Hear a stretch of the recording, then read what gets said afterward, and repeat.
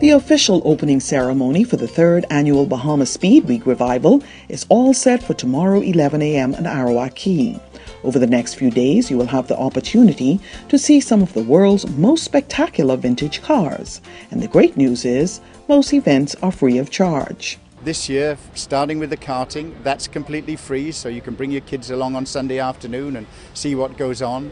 And then jumping ahead a little bit to the Saturday and Sunday racing, the, the hill climb up to Fort Charlotte is on uh, Saturday afternoon. That's the the uh, start of the real proceedings down here, and the Sunday, and all of the area below Fort Charlotte you can watch for free.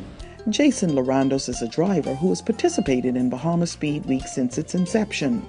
He says he's thrilled to be back in the Bahamas again and will be participating in a number of events. The hill climb is a traditional event that uh, sort of challenges driver agility in a sprint up an incline. And uh, here they've run the hill climb from the beginning of the paddock at Arawak Cay to the entrance of the Fort Charlotte through the vehicle uh, training grounds when you get your driver's license and up on top of the fort. This is my third time doing this event and uh, it's quite an exhilarating event because you, you have the opportunity to actually test the limits of the machine and you as a driver and really push things to the limit uh, without worrying about traffic violations.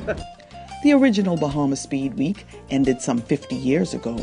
With this revival, we will get the opportunity to witness the Formula Junior race, an Austin Healey race, and the classic vintage mini race. Then Thursday, we're bringing the event out to the people. So there's an, an island tour, and we'll be going around passing many of the local schools, pretty much all of the major roads on the island and back here so you can see the cars going out from around 9.30 through till 4 o'clock in the afternoon.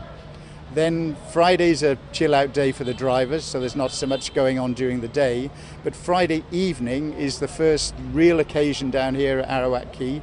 There's a race car show. So around about six o'clock, we're going to push the cars out onto the, the beach here or road adjacent to the beach and, and throw a party. Uh, so you can come down, have a look at the cars, and then hopefully indulge yourself with your food and drink at the fish fry restaurants here. So th- that should be good. So come and come and buy your beer and buy your food and have a look at the race cars.